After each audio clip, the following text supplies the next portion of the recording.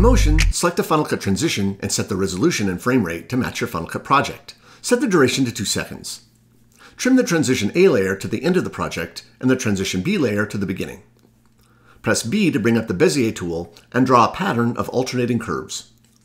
When you get to the end, press Return. In the HUD, turn off the fill, then press F4 and crank up the width until the stroke fills the viewer. Add a write-on behavior. Select Transition A, then press Shift-Command-M to add an image mask. Drag the Bezier layer into the well and invert the mask. Select the paint layer, then in the Shape Style menu choose Traditional Charcoal Too Heavy. Now select the project layer, then in the Properties Inspector, check Override FCP Duration. Press Command S and name your transition. Choose a category and publish. In Final Cut Pro, locate the transition and add it to any cut point. thank you